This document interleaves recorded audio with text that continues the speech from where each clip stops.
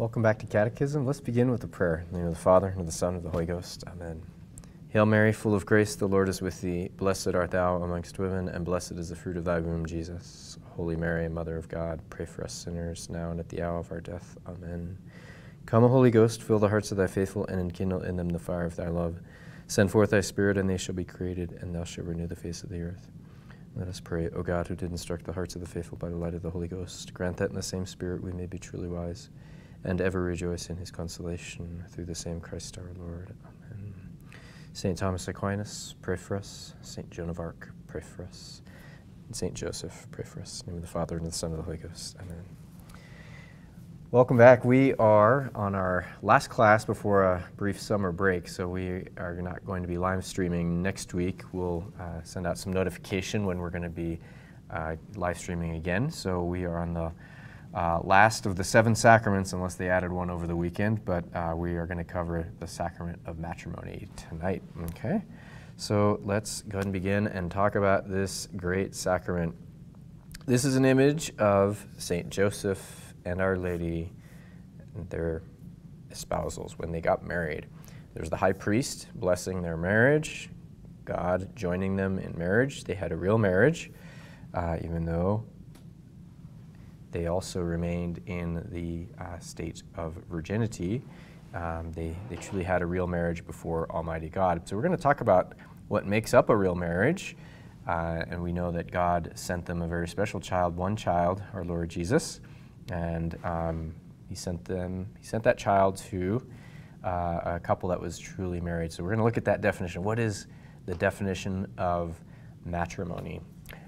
Do you know where the word comes from? First of all, before we get to the definition, the word matrimony comes from a Latin word, uh, matris munere, matris munere, which is the duty of a mother the duty of being a mother, the office or responsibility of being a mother. So you can see from the word matrimony, it's not macaroni, it's matrimony. When I was a kid, I thought they were saying macaroni and I couldn't understand what was going on, but it's matrimony, the duty of a mother.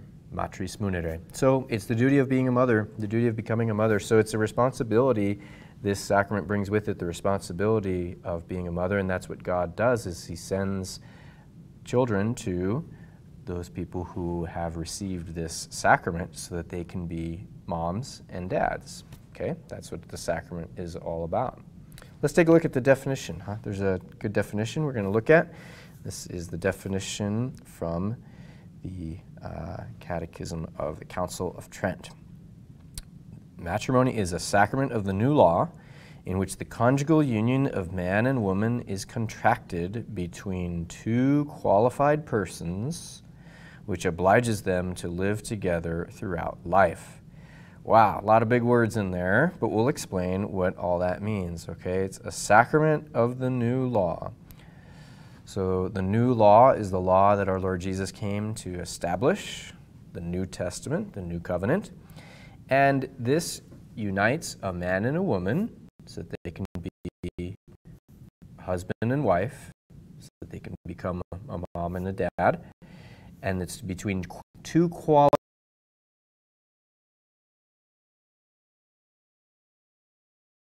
Anyone else. If they're married to someone else, they're not qualified to marry each other if they're already married to someone else. Okay? And it obliges them to live together throughout life. So that's why moms and dads, they're, they're supposed to stay together uh, throughout life so that they can uh, have a good, stable, home so that kids can have uh, a nice environment to grow up in. Okay, so that's the, that's the definition. There's some famous uh, marriages, famous marriages uh, in the, marriage of St. Joseph and Our Lady. And this is a little picture of, from a stained glass window, of the marriage of St. Joachim and St. Anne. If you can guess who St. Joachim and St. Anne are, Maybe mom or dad can give you some kind of prize tonight. Maybe get dessert tonight or something. Okay.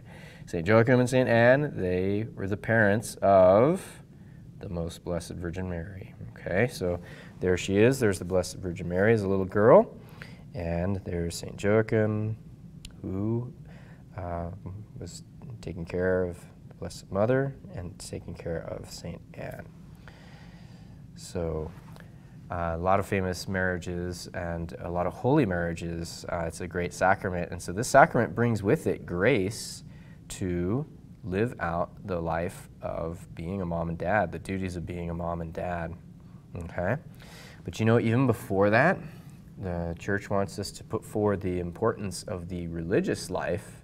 And so, even in, the, in teaching about the sacrament of matrimony, the Catechism of the Council of Trent tells us that we're supposed to explain the beauty of the state of virginity, the state of uh, priests and religious. So I'll, I'll show you what I mean. Okay, so in the Catechism of the Council of Trent, it says, since it is the duty of the pastors to seek the holiness and perfection of the faithful, and his earnest desires must be in agreement with those that are expressed by the apostle when he wrote to the Corinthians, I would that all men were even of as myself, that is, that all should embrace the virtue of continence. That means that they are living uh, in a state of um, uh, state of virginity, state of celibacy. He said, "No greater happiness can befall the faithful in this life than have their souls distracted by no worldly cares, the unruly desires of the flesh tranquilized, that is, put at peace, and restrained, that means held back, and the mind fixed on the practice of piety and the contemplation of heavenly things. So, what that last part is saying, I'll explain it to you in easier words. It's saying that the, the life of someone who lives like a priest, someone who lives in the state of religious, like a, a, a woman who goes to a convent to become a nun, they are there so that they can have their fleshly desires restrained and tranquilized, right? Because you don't, uh, you're, you're, you're at peace. You're not seeking after uh, things that could be, you know, tempting. You're taken out from the, from the world and from a lot of the, uh, the difficulties uh, that come with, uh, with that state. And it allows the mind to be fixed on piety, that is, the love of God, and the contemplation of heavenly things. St. Thomas Aquinas says that one of the effects of leading a celibate life is that that's the life of a, of a priest or a nun, you know, where they, they don't get married and they stay uh, pure and uh, holy. They are allowed, they are enabled to meditate and contemplate on heavenly things. And that's why St. Paul even recommends that husbands and wives can agree for a time that they should, you know, not think about things of marriage for a time, you know, stay away from things of marriage for a time so they can pray. Obviously, they stay with their family, you know, but they pray for a time, right? So that's it's a means when one is kind of separated from those things that have to do with marriage. It helps you contemplate, helps you think about heavenly things, because that's what we're all called to do. So even in the midst of marriage, even in the midst of the duties of marriage, uh, we are all called to contemplate heavenly things. And so St. Paul even recommends that in 1 Corinthians 7 that even married couples should take some time where they are not thinking about the marriage things, but they are spending that time in some prayer. Okay? So, what else does the Catechism of the Council of Trent say? Let's take a look. But according to the same apostle, everyone has his proper gift from God one after this manner and another after that. And as marriage is gifted with great and divine blessings, so much so as truly and properly hold a place among the other sacraments of the church, what he's just saying there is that marriage is actually a sacrament, and its celebration was honored by the presence of our Lord himself. It's clear that this subject, matrimony, should be explained, okay, because it also brings with it uh, many uh, there's a state of dignity and there are duties of the married state, but it's a, it is a state, it is a good state, it is a, it is a holy state. And so uh, St. Paul and the church uh, want us to explain that also because it is a, uh, a beautiful and holy state. Now remember where I said that, uh, that marriage has been uh, sanctified by the very presence of our Lord? What am I talking about? Do you remember that story of the wedding feast at Cana? This is an image of the wedding feast at Cana. So here you see in the background, there's the couple that just got married. the guy and the girl in the background, they just got married and they ran out of wine. You remember the story? Where Our Lady, standing right there, said, They have no wine. And so she told our Lord Jesus this, her son. And so he said, What is that to me and to thee? My hour is not yet come. And so she said to the steward of the feast, Do whatever he tells you. And then look what happened. He tells the servant, Fill up the water basin, fill up the three, I'm sorry, the six pots of water and pour it out. And then what happened when he poured it out? Well, as you can see, the water turned into wine.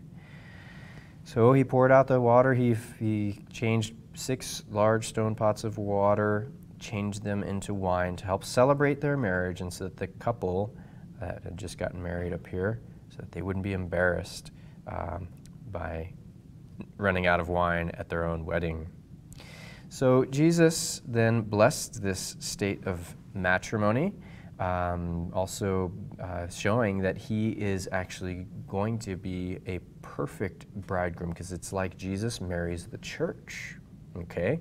So that's what we're going to see a little bit later about the beauty of this great sacrament, how it shows how uh, Jesus uh, uh, is married to the church, and that a good marriage between a mom and a dad, between a husband and a wife, a good marriage should show that beauty of Jesus' union with his church. The church is like his bride, and Jesus is like the husband, okay, in a marriage. So every sacrament um, has matter and form. Do you remember that? Every sacrament has matter and form. That means every sacrament has something you start with and then something that makes this thing the sacrament that it is. Okay. So what is the matter with marriage? What's the thing that makes the matter that makes it a marriage? Okay. So the matter, this one's a little hard to think about, but the matter of the sacrament is the mutual giving of the rights of marriage. That is, the mutual giving. That's, that means between the man and the woman, there's a mutual giving. They give to each other the rights of marriage. I give you the rights of being a wife. I give you the rights of being a husband. They give each other those rights of marriage. That's the, the giving of them. The form is that they mutually, they both accept the rights of marriage from the other. Okay, so when they say, Yes, I accept you as my wife, you know, the man says, I accept you as my wife. The woman says, I accept you as my husband, okay? So it has to be a man and a woman. Can't be anything else. Only a man can marry a woman. There's no such thing as a marriage with any other combination, okay? Uh, so uh, we, we, uh, uh, we know that. Why do we know that? We know that because our Lord God, the Almighty, who created us, made marriage. And so we don't have a right to change that. I can't change myself into an eagle. I can't change myself into a dog because God made me as a man. So we can't change marriage because God made marriage, and He made marriage to be between one man and one woman, and that's it. Okay, that's what forms a marriage.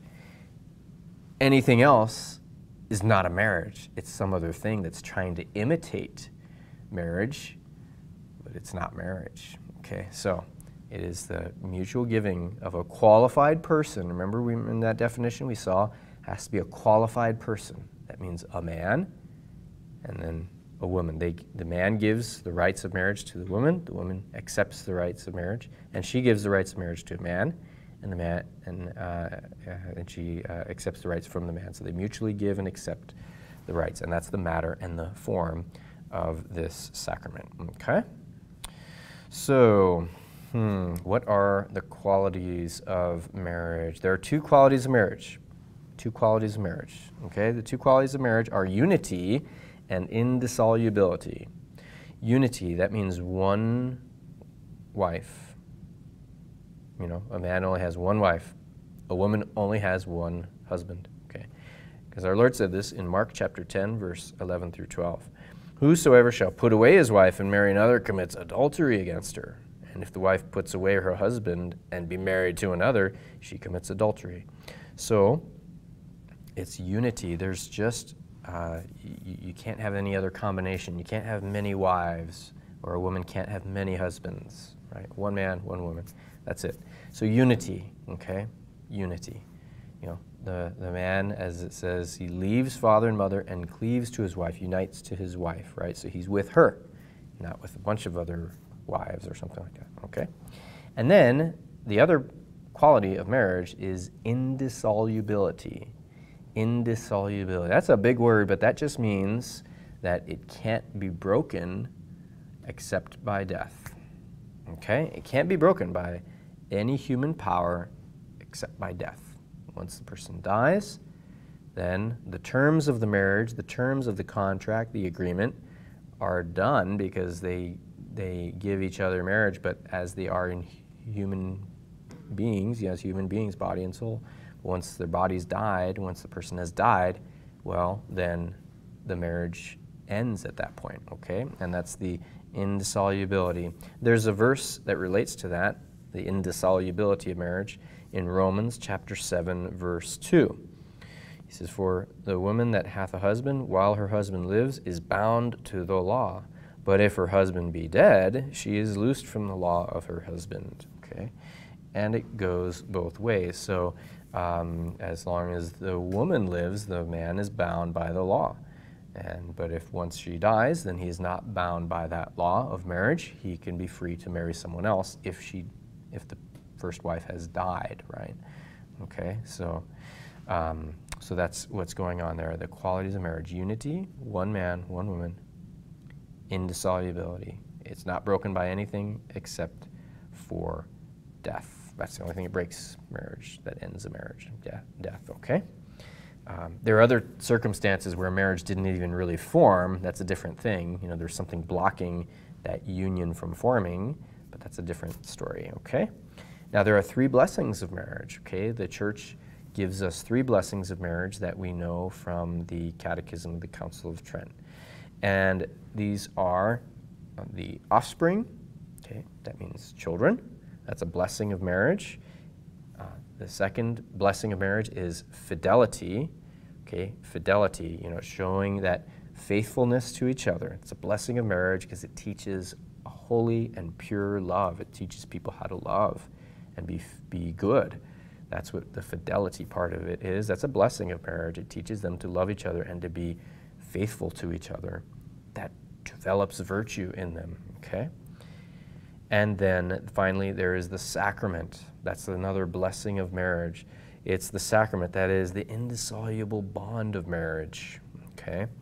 So, uh, children, the fact that children are a blessing of marriage, we know from 1 Timothy uh, 2.14, uh, because there, uh, St. Paul goes so far as to even say that a woman is saved by childbearing. Now, he doesn't just mean that she's saved simply because God sent her a baby. She's saved by raising up that baby. Okay? That's a blessing of marriage that she has someone that she can teach the faith to and raise up and you know teach you know from being a child to grow up to being a, a grown up. And so that's a blessing of marriage, you know, that she is given the responsibility, and he is given, the husband is also given the responsibility of raising up the child so that that child grows up to become a grown up, become a man or a woman.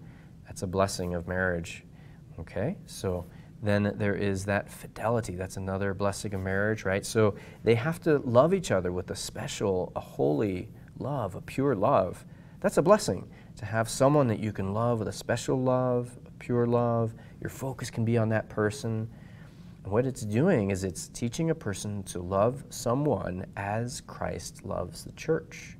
And it's teaching, so it's teaching a man, the, the husband, to love his wife as Christ loves the church. Marriage also teaches a woman to love her husband as the church loves Christ. That's what is going on in marriage. God has given different jobs, right? There's the job of the man, the job of the woman, the job of a husband, the job of a wife. And by living out those jobs, by living out those responsibilities, they help grow in virtue. That means the man becomes a good man, an even better man. The woman becomes a good woman or an even better woman by living out that role, that job of being a, a wife for the woman and a husband for being a man. That's why it, it takes a man and a woman, and that's it, because the husband is supposed to practice the love of Christ towards the church, and the church is a bride. It's a woman spiritually. And the church, then, which is like a woman spiritually, it's a bride, it loves Christ like one should lo- like a wife should love her husband. And so that's why you need you need uh, a woman and you need a man, and that's that's all that can make up uh, a marriage. Okay, so that fidelity, that faithful love, is one of the great great blessings of marriage. Okay, and then the third great blessing of marriage is what we call the sacrament. Okay, so there is the offspring, the fidelity, and the sacrament. Those are the three great blessings of marriage. And so this blessing of a sacrament is the indissoluble bond. Indissoluble is just a big word that means it's a bond that can't be broken. It's a connection that can't be torn, that can't be torn apart. It's indissoluble. That bond stays. They're husband and wife, even if he's across the world somewhere else on a ship somewhere, he's still married to his wife. And, you know, this sacrament really represents Christ's union with the church. And so it follows then that Jesus doesn't separate himself from the church, even if the church is here on earth, he's in heaven. Just because there's that separation, they're still united. Okay, we are still united to Christ. The church is still united to Christ, just as a husband is still united to his wife, even if he's on a trip overseas somewhere. Well, he's still united to his wife. Okay, they're still bound to each other, there's still a bond there. And so also, there's a bond between Christ and his church. And he loves his church with a special love, just like a husband should love his wife with a special love. So God loves the church with a special love. So God has given us this sacrament to show us how he loves the church and to teach a husband how to love his wife and to teach a wife how to love uh, her husband, okay? So, um, well, what makes the marriage? What actually makes the bond, okay? So um, let's take a look again at another little picture here. This is the, uh, this is again, this is the wedding feast at Cana. So when they formed this marriage, when they agreed to have this marriage, you see the husband and the wife in the background. Well, they agreed. They agreed to be husband and wife. Okay? So that's what formed the bond is that they agreed to it. The husband has to agree, the wife has to agree. It's what we call consent. They agree to be husband and wife. So that is what causes the marriage. That what, that's what forms the marriage. But you also need a couple of things. Not only do you need a man and woman to agree to be husband and wife, but you also need a priest present and you need two witnesses. Now that's ever since the Council of Trent uh, the Council of Trent uh, changed it. There's a document called Tametsi in, in Latin, and that was the document that changed the rule, because before that, you didn't need a priest with faculties to witness marriages. But after that, at the council, starting at the Council of Trent with the document Tametsi, you do need a priest with faculties. That means he's delegated by the bishop to witness a marriage. And so that's how a marriage is formed. It has to be in front of a bishop with, or in front of a priest who's been delegated by the bishop um, to uh, witness a marriage. Do you know how strict this, this was in tradition? It's actually gotten more, more uh, um, uh, in some ways it's gotten easier.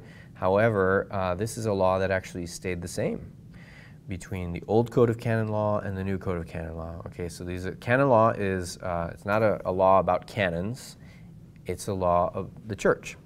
And so in the old list of laws, which is the old code of canon law, uh, it, it, says that uh, if I were to say uh, parish or something and I go into a neighboring diocese, so say I leave Idaho and go across into Spokane and um, two people were to come up to me and want to be married, and I say, sure, I'll do it. And I don't have delegation from that bishop in Spokane, that would be an invalid marriage. That's how strict it was, and that's how strict it is still. So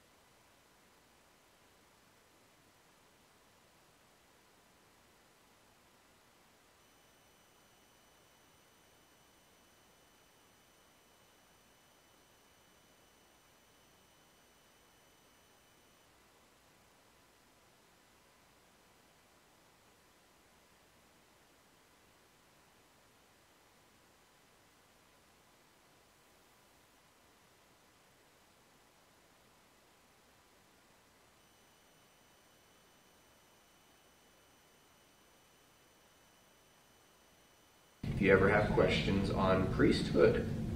1 Corinthians 7, huh? I'll tell you a story one time. I was at a place where there was um, a lot of Protestants there, and they were uh, they were asking, um, you know, uh, why is it uh, that you Catholics don't get married, huh? Why is it that you Catholic priests don't get married? That does, doesn't that seem against the Bible, right? Doesn't God want marriage? He wants people to get married. Well, um, I asked him, I said, well, let me ask you a question. Why doesn't your minister, your Protestant minister, why doesn't he stay single? Why doesn't he stay celibate? Because according to the Bible, the one who is married is divided, and the one who is single, the one who is celibate, is concerned for the things of the Lord. Okay? So you'll find that in 1 Corinthians uh, 7. All right, so that's uh, that's an important uh, verse, important chapter to, to look at. Uh, 1 Corinthians 7:32. You can look there. Oh, I should have put on my apologetics. Again, this is uh, of my parishioners got this for me uh, to whenever I put on a, whenever I have an apologetics point to make, put on my apologetics hat. So 1 Corinthians 7:32 and following is a key verse for understanding why priests are celibate. Okay? All right, so. Um, so remember then, uh, marriage is, uh, is also a sacrament, okay? So marriage is a sacrament. What exactly does that mean? What, is, what does it mean when we say marriage is, uh, is a sacrament? Uh, what is it a sign of? Okay, a sacrament, remember, is an outward sign instituted by Christ to give grace. So what is it a sign of? All right, so the sign in marriage, the sign, the, the, the symbolism there in marriage is that you are a symbol, a sign of Christ's union with the church. That's the sacrament part of it. Now, in order for it to be a sacrament, there has to be a baptized man and a baptized woman. Okay? That's the only way that we have a sacramental marriage. You might have what we call a natural marriage. Okay? So, a man and a woman, maybe they're not even believers, they get married. They do, but it's a natural marriage and it's not a sacrament. It doesn't produce grace. Remember, grace always accompanies the sacrament when they're well received. Grace accompanies the sacrament. Okay, so if they both are baptized, okay, if the man is baptized and the woman is baptized, then grace is produced and it is a uh, sacrament. Okay, so um, that means, it, and uh, remember what a sacrament is?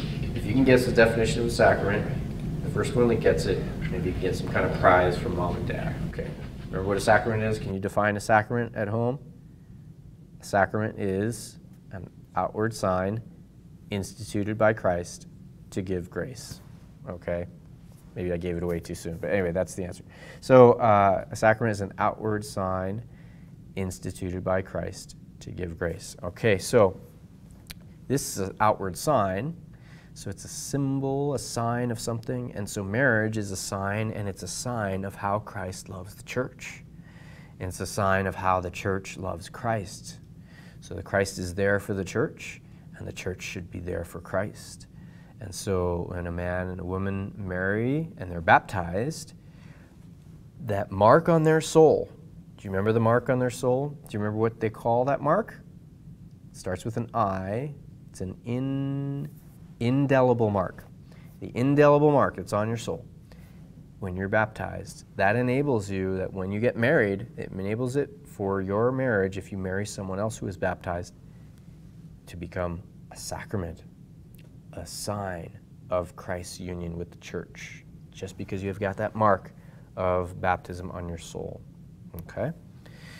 So, uh, those are some basics with regard to marriage. Let's look at a couple places where we see the sacrament of matrimony in the Bible. Okay, let's, let's take a look at that. There's a couple places where we see the sacrament in the Bible. One of them is Mark chapter 10, verse 7 through 9 where our Lord says, For this reason a man shall leave his father and mother and shall cleave to his wife. That means he's united to his wife. What therefore God has joined us together, let not man put asunder. That means let not man break apart. What God has joined, let not man break apart. So can you see how that's showing that, in fact, marriage is indeed uh, formed by God? It's a sacrament. God is doing the forming. Because it says in Mark chapter 10, what God has joined, let not man break apart.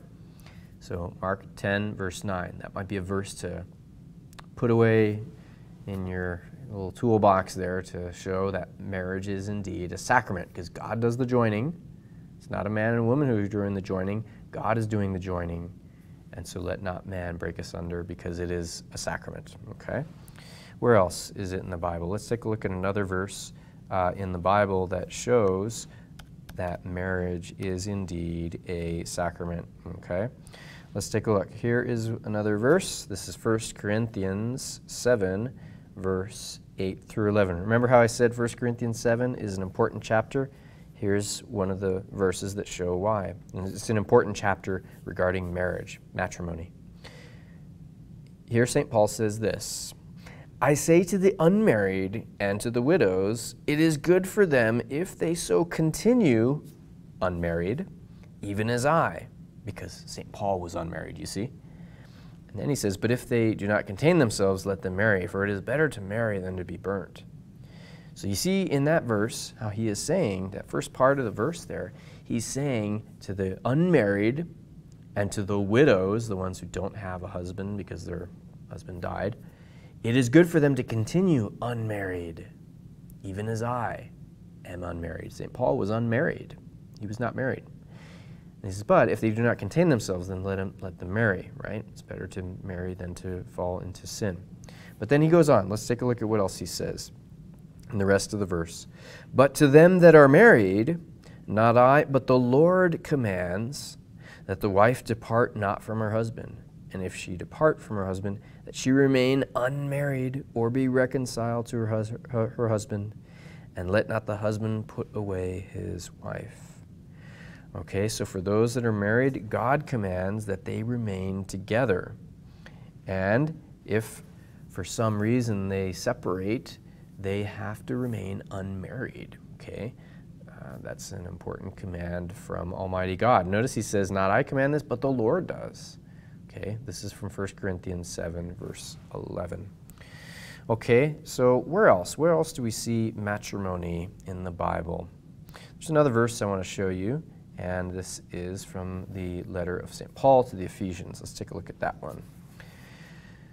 In this verse, St. Paul says, For this cause a man shall leave his father and mother and shall cleave to his wife. Do you remember what verse he's quoting there?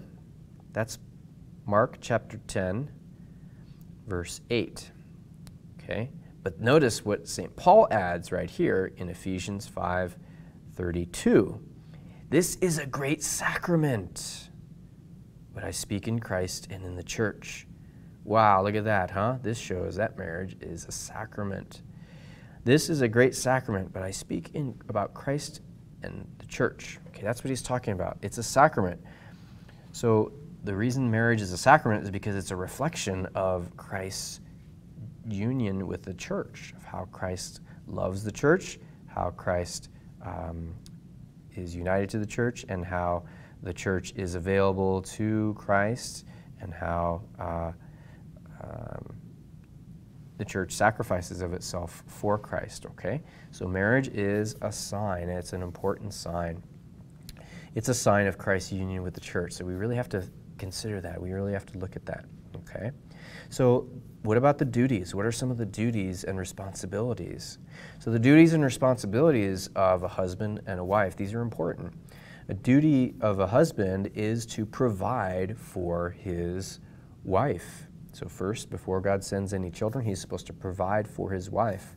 So, therefore, he should um, he should have a job. Okay, should have a good job that he can put a roof over the head of his wife. Uh, so uh, any young ladies out there, uh, if he doesn't have a job, you shouldn't be thinking about marrying that guy.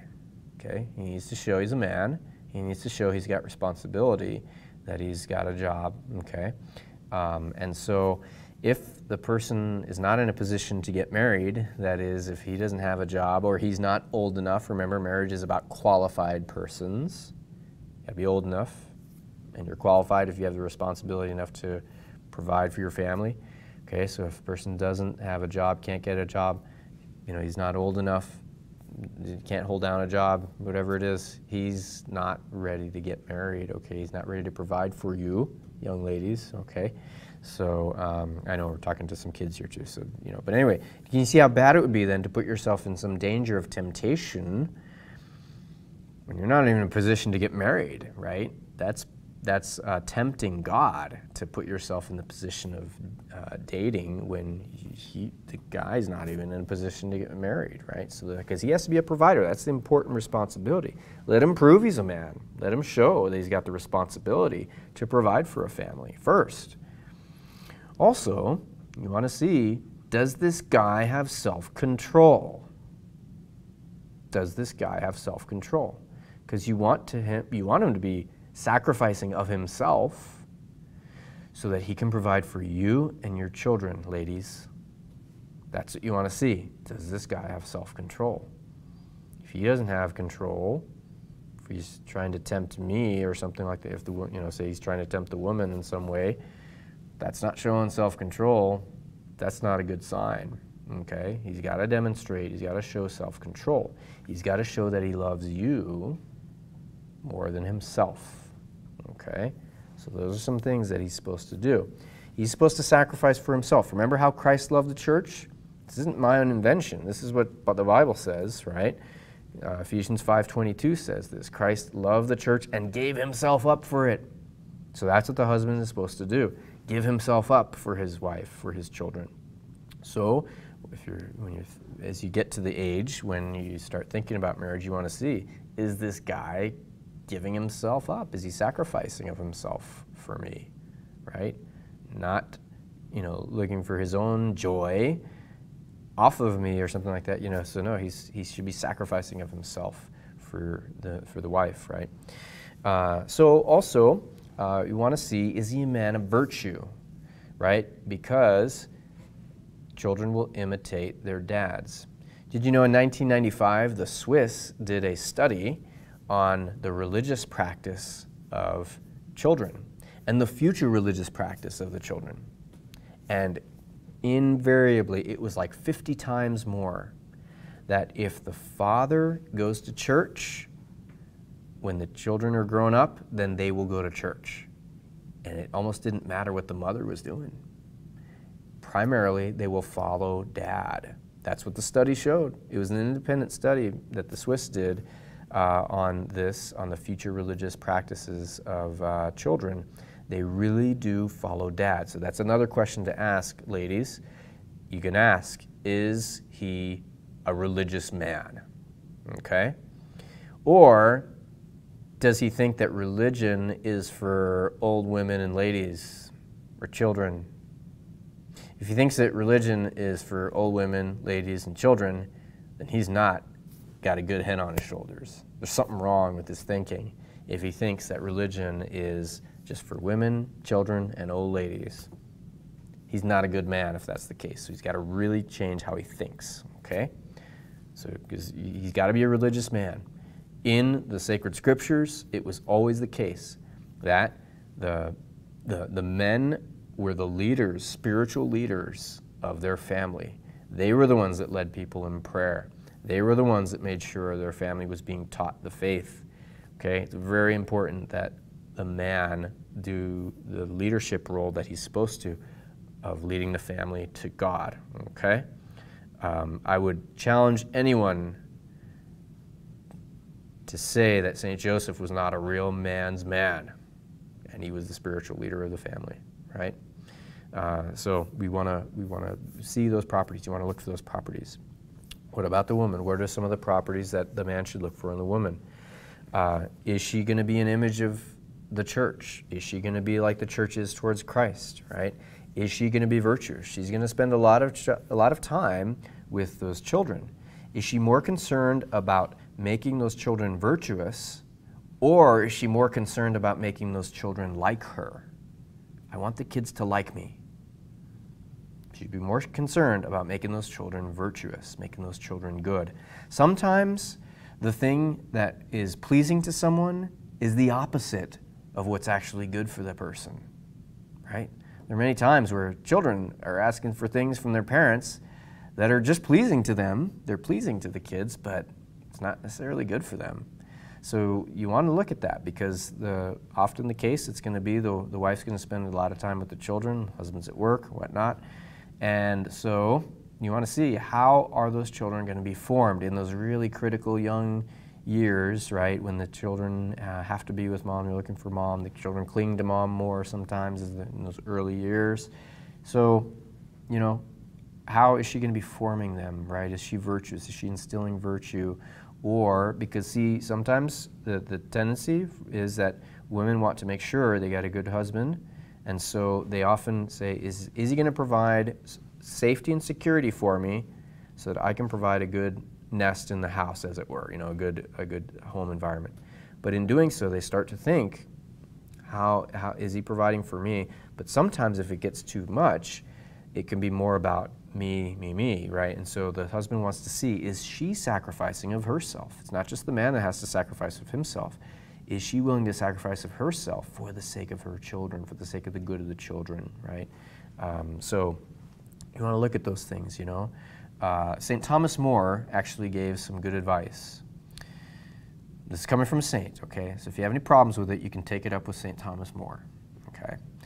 Um, he was a saint. Um, he had uh, children who were Catholics, and he had difficult situations with some of those children. But he said, um, You want to look at the mother of the girl you're considering marrying. Look at the mother of the woman you're considering marrying. He says, Chances are that's what she's going to be like. Okay? So he says, Good counsel is look at the mother of the woman that you're thinking about marrying. And that's really what she's going to be like. Not when she's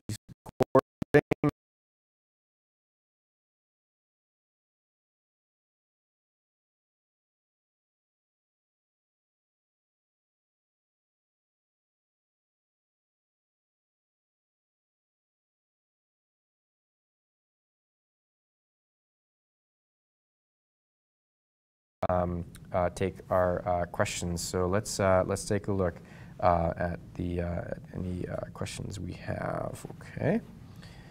So, so on Facebook we can take questions and see if any have come in.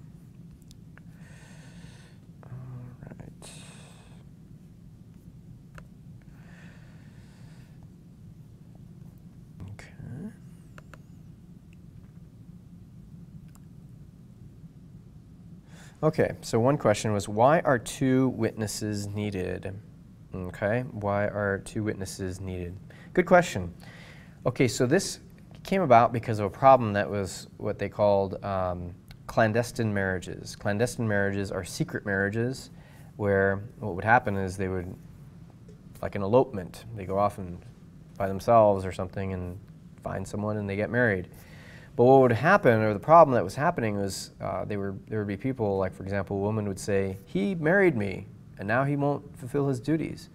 And the guy says, I didn't do it. They said, Well, were there any witnesses? No. And so the church said, All right, we need witnesses for these things, okay? Uh, so it's just a law of the church out of prudence to make sure that others know about it. And it's also to prevent things like, you know, I can't believe that priest married these people didn't everyone know? Didn't he know that, you know, he was forcing this woman into it or something like that? Or didn't he know that, you know, this person's reputation? And so if the priest, you know, he's, he's gets witnesses, so the witnesses could say, I can attest, I'm standing up for, I'm backing this person, um, supporting this person in the, the, the, marriage, right? So, and also if he doesn't know, this is, I, we didn't quite cover this, but uh, if he doesn't know the person, like say he didn't grow up with them, he doesn't know their their background. Uh, he doesn't know if they've been married previously. He has to get statements, sworn statements from people who do know them that attest, yes, I know they are free to marry. Okay, so it's, it's kind of an extension of the idea of a witness, okay, that he has to get this tes- um, testimony of freedom or um, uh, statement of freedom that is, that is done. They call it an affidavit, it's a sworn oath saying that, yes, we know this person is free to marry and there's no problems. You know, so, um, okay. So two witnesses uh, to make sure that everything's good with these two getting married, okay? Uh, another question that came in uh, Is there a recommended age gap between an, a man and a woman for marriage? That's a really good question. So, in general, men mature a little bit more slowly than women. They're just a little bit more immature when, you, when it comes down to it. Um, so, it can be helpful if the man is a little bit older, okay, than, than the woman. That way they're going to be about matched up, okay? So I don't know what it is. Guys just tend to do that. They mature a little slowly. Maybe it's physiological. You know, I'm not sure. Maybe doctors could weigh in on if there's any physiological reason, any physical reason why uh, that's the case. But uh, in general, uh, that's kind of what happens. Maybe, maybe, it's the case that men are just a little more afraid of commitment, so they got to get a little more mature and a little more years under their belt and before they realize, you know what, I better settle down and get married here. Um, but it's, uh, it is better that he be older. A couple of years, a few years, you know, a couple of years is, is fine. A few years, there's no, I mean, again, there's no law that the church has. You just have to be old enough. Um, but, uh, but you know, even in canon law, it's very interesting. In canon law, um, the, the, the age at which a woman can contract a marriage is two years younger, at which the, the man, if I'm not mistaken, at least it might have been in the old code. I, I can't recall if that got changed in the new, but um, so, at any rate, uh, so uh, the church recognizes that. And so, uh, if there's too big of a gap, there can be a problem where the, child, you know, the not the child, but the, the younger person is looking a little more to the older as like a child-parent relationship. You know, there's either whether it's the man or the woman who's old, too much older, they can be looking as well. This is they're really not looking for a husband; they're looking for a dad you know, or he's not looking for a wife, but he's looking for a mom. And that's not right either, because then you're looking at a different role. So if there's too big of an age gap, they're going to have too many differences. Um, you know, you just have more in common with people who are fairly close to your age. So when there's too big of a gap, it's just going to cause some problems. So it's not recommend. You know. So anyway, um, uh, you just you know, I don't want to set a hard rule, but um, you know, you, you get, uh, and, and the older you get, the older you get, the, the, the gap can be a little bigger, the older both people are, right?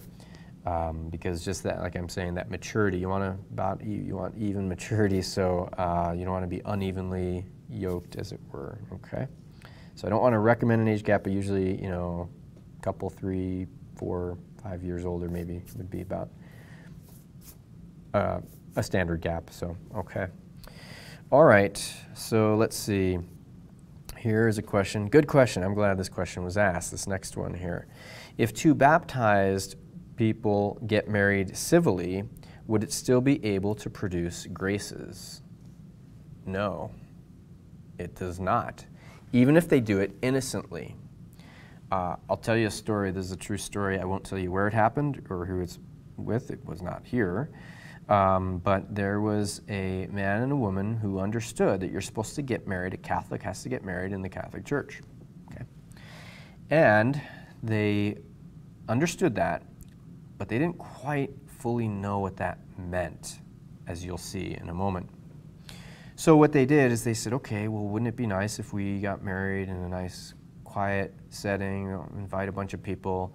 Let's just go into a Catholic church, into a beautiful Catholic church, and exchange our vows with no one present, no priest present, no witnesses.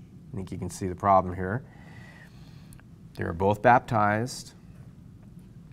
And they got a civil marriage license, just like you're describing in the question.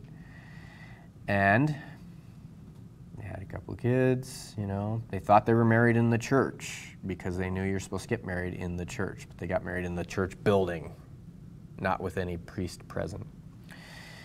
And so then they're having marriage problems. So they came to a priest to help with their marriage problems. And the priest started explaining some things, and when he realized, he said, Wow, they should have known that. That was a pretty basic thing. And so he asked them, Who did your marriage preparation? And they said, Oh, we didn't get any marriage preparation. He said, Well, were you married in the church? Oh, yeah, we were married in the Catholic Church.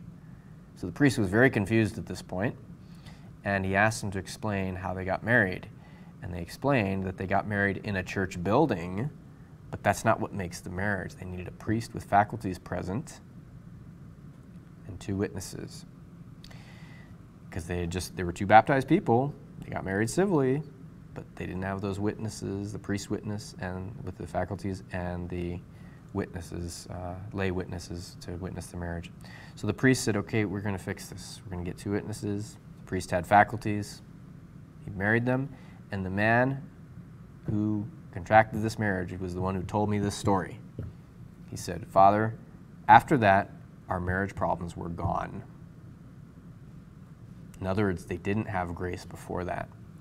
So it's kind of a long story just to show you how uh, two baptized people, if they get married civilly, it doesn't, it's not sacramental. It needs to be done according to the rite of Holy Mother Church So before a priest with faculties and the two witnesses. Otherwise, the marriage, more, marriage bond doesn't actually form. Because remember, what God has joined, let not man put asunder. But if God didn't have a chance to join it because it wasn't done before a priest or a deacon, a deacon can get the faculties also. Uh, a deacon can actually marry if he has faculties to do so. Okay. So, uh, good question. Uh, next question might have to be our last one. We might have a couple more minutes. But um, why are outdoor masses allowed but no, out, no outdoor weddings? Good question. This is because people dissociate marriage from the religious aspect very easily. It's very easy for people to dissociate, disconnect marriage from the religious responsibilities that are there the religious duties that parents owe their children. They need to form their kids in their faith. They need to teach the catechism to them, and people are often not aware of that. So, the church, in order to maintain the sacredness of the marriage, because if you swear an oath to God, even if your spouse is turns out to be kind of a not so decent person or something. If you've sworn that oath to God, you've got a strong motivation to keep that marriage. And people are often made aware of that through the fact that it was solemnized, that marriage was solemnized in the church before the Blessed Sacrament. God as a witness, the priest only representing, the priest representing God. Uh, you know, um, and so that's why the church does so does the, has this law where we don't have outdoor weddings. We have weddings that are done in the church because people quickly lose the sacred character and the sacred responsibility to be husband and wife. And when it's taken outside the church, people quickly lose the sense of that, and it becomes about, well, isn't this romantic between the man and the woman? It's sacred between the man and the woman. It's not just a romantic setting. That's not going to show them that it's a sacred thing. But the church setting shows that this whole thing is very sacred and it is a very important responsibility. Okay? Um, so. Uh, so in order, so the, another question came in. Uh, uh, so is there grace if one isn't baptized, even though the person's working on it at the time the marriage was blessed? Uh, there's not grace produced until both are baptized. Okay, so both have to be baptized. There was actually a case that went before um, the Vatican from Montana, from the Diocese of Helena. And it was the case that actually settled this issue. Is it a sacramental marriage if one person is baptized and the other isn't? So this case went all the way up, you might say, to the Supreme Court, uh, the Roman Rota of the Vatican. It was a case in, I think, the early 1900s uh, in, from Montana neighboring Montana. And uh, it went all the way up to the Vatican, and that was the case that settled the issue that said, no, that was not a sacramental marriage, even though one was baptized and the other was not. So there's not grace produced, uh, there has to be both. So that's the key thing. That's why it's important to marry, marry a baptized person, you know, marry a Catholic. You want to have that in common. That's important, right? Because if your religion is not in common, you're going to have to find something else that's in common, but that religion is so important. Okay, it's so, so important because your primary responsibility in getting married, remember, it's about children. That's the primary end, is the children. That's the primary end of marriage. It's the secondary end is the mutual support and comfort of the spouses, but the primary end uh, is the children. And so if the primary end, being the children, is to get those children to heaven, because that should be our primary end, not to get them good jobs, it's to get them to heaven. If the primary end is not going to be shared by both, because the means God has given for us to get to heaven is through the sacraments, through the church.